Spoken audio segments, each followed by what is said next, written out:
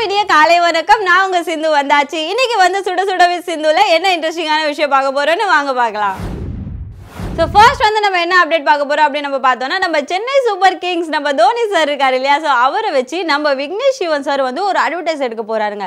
உடனே நீங்களே யோசிக்காதீங்க அது என்ன அட்வர்டைஸாக இருக்கும்னு சொல்லிட்டு நானே சொல்லிடுறேன். அது வந்து நம்ம கிரிக்கெட் ரிலேட்டடாக தான் ஒரு அட்வர்டைஸ் வந்து எடுக்க போறாரு. ஸோ இதை வந்து நம்ம விக்னேஷ் சார் வந்து அவரோட சோஷியல் மீடியா பேஜில் வந்து அப்லோட் பண்ணியிருந்தாரு. ஸோ கூடிய சீக்கிரம் விக்னேஷ் சாரோட டைரக்ஷனில் நம்ம தோனி சார் வந்து ஒரு அட்வர்டைஸ் நடிக்க போறாரு. எல்லாரும் வெயிட் பண்ணி பார்ப்போம் எப்படி இருக்குன்னு.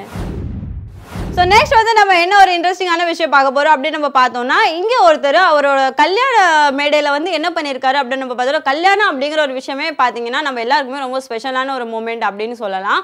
பட் இந்த இடத்துல வந்து ஒருத்தர் என்ன பண்ணியிருக்காரு அப்படின்னு பார்த்தோம்னா இது வந்து வேற யாரும் இல்லை. அந்த கல்யாண மாப்பிள்ளையே என்ன பண்ணியிருக்காரு அப்படின்னு நம்ம பார்த்தோம்னா அவரோட கல்யாணத்தில் வந்து சாப்பாடு போட லேட் பண்ணிட்டாங்க அப்படிங்கிற ஒரே ஒரு ரீசனுக்காக கல்யாண ம மேடையிலேருந்து அப்படியே எந்திரிச்சு கல்யாணத்தை விட்டுட்டு வெளியே வந்துட்டாரு மண்டபத்துலேருந்து. அதுவும் அவர் நார்மலாக வரலங்க.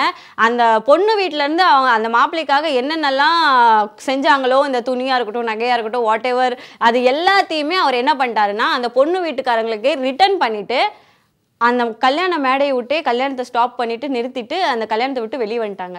இப்படி எல்லாமா ஒரு கோவம் வரும் ஒரு மனுஷனுக்கு எனக்கு புரியல. ஒரு பொண்ணோட லைஃபையே அந்த இடத்துல விட்டுட்டு அந்த மனுஷன் வந்து எனக்கு கல்யாணம் ஒரு சாப்பாடு ஆக மொத்தம் சாப்பாடு தான் நமக்கு முக்கியம். அது எங்களுக்கு புரியுது. அதுக்காக இப்படியா? கல்யாண மேடையில் சாப்பாடு இல்லை. சாப்பாடு போட லேட் ஆயிடுச்சு. இல்லைன்னு கூட இல்லைங்க. லேட்டு தான் ஆயிடுச்சு. எங்கேன்னு பார்த்தீங்கன்னா பீகார் இருக்கு இல்லையா? அந்த இடத்துல தாங்க இந்த சம்பவம் வந்து நடந்திருக்கு. ஸோ இப்படியெல்லாம் இந்த உலகத்தில் மனுஷங்க இருக்காங்க. கல்யாணம் அப்படிங்கிறது எவ்வளோ பெரிய விஷயம்.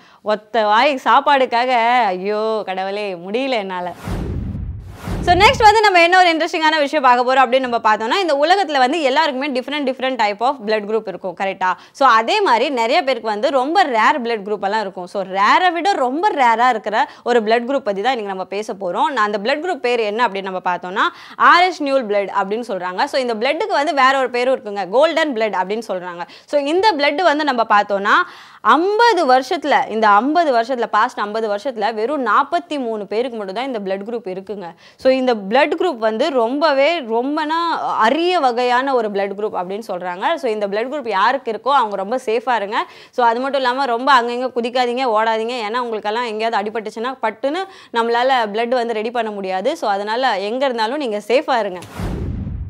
ஸோ நெக்ஸ்ட் வந்து நம்ம என்ன ஒரு இன்ட்ரெஸ்டிங்கான விஷயம் பார்க்க போகிறோம் அப்படின்னு நம்ம பார்த்தோம்னா Madras college I mean Madras college அப்படிங்கிற ஒரு பேரில் திண்ணை காலேஜ் திண்ணை பள்ளிக்கூடம் அப்படின்னு சொல்லிட்டு எந்த இடத்துல ஃபஸ்ட்டு ஃபஸ்ட்டு வேறு நாட்டில் வந்து ஸ்டார்ட் பண்ணியிருக்காங்க அப்படின்னு நம்ம பார்த்தோம்னா அந்த நாடு பேர் என்ன அப்படின்னு நம்ம பார்த்தோம்னா இஸ்காத் லேண்ட் இருக்கு இல்லையா? ஸோ அந்த இடத்துல தான் திண்ணை பள்ளிக்கூடம் அப்படின்னு சொல்லிட்டு ஸ்டார்ட் பண்ணியிருக்காங்க நெக்ஸ்ட் வந்து நம்ம என்ன ஒரு இன்ட்ரெஸ்டிங்கான விஷயம் பார்க்க போறோம் அப்படின்னு நம்ம பார்த்தோம்னா இந்த விமான நிலையம் இருக்கு இல்லையா? ஸோ ஏர்போர்ட் ஏர்போர்ட் வந்து நிறைய இடத்துல நம்ம பார்த்துருக்கோம். பட் எல்லாத்த விட ரொம்ப நீளமான ஒரு ஏர்போர்ட் வந்து எங்கே இருக்குது அப்படின்னு நம்ம பார்த்தோம்னா லேக் லடாக் இருக்கு இல்லையா? ஸோ அந்த ஒரு ஏர்போர்ட் தான் ரொம்ப நீளமான ஏர்போர்ட் அப்படின்னு சொல்கிறாங்க நெக்ஸ்ட் வந்து நம்ம என்ன பார்க்க போறோம் அப்படின்னு நம்ம பார்த்தோம்னா அப்ரிவேஷன் அப்ரிவேஷனில் இன்றைக்கி நம்ம என்ன பார்க்க போறோம் அப்படின்னு நம்ம பார்த்தோம்னா சிசிடிவி சிசிடிவிக்கு வந்து லாங் ஃபார்ம் என்ன அப்படின்னு நம்ம பார்த்தோம்னா closed circuit television so next வந்து நம்ம என்ன பார்க்க போறோம் அப்படின்னு நம்ம பார்த்தோம்னா தமிழாக்கம் தமிழாக்கம்ல இன்னைக்கு நம்ம என்ன பார்க்க போறோம் அப்படின்னு நம்ம பார்த்தோம்னா சிசிடிவி சிசிடிவிக்கு வந்து நான் அப்ரிவேஷன் சொல்லிட்டேன். ஸோ சிசிடிவி வந்து தமிழில் என்ன சொல்லுவாங்க அப்படிங்கிற ஒரு விஷயம் இருக்கு இல்லையா?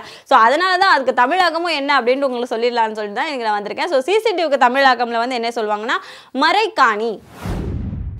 ஓகே கைஸ் இன்னைக்கு வந்து நம்ம சுட சுட வித் சிந்துல நிறைய இன்ட்ரெஸ்டிங்கான விஷயம் பார்த்தோம். நிறைய அப்டேட் எடுத்துக்கிட்டோம். நிறைய புது விஷயங்களை பத்தி தெரிஞ்சுக்கிட்டோம். ஸோ நாளைக்கு காலையில சுட சுட காஃபியோட நீங்க ரெடியா இருங்க. மீண்டும் ஒரு முறை காலை உங்களை சந்திக்கும் வரை உங்களிடமிருந்து விடை பெறுவது உங்கள் சிந்து. பாய்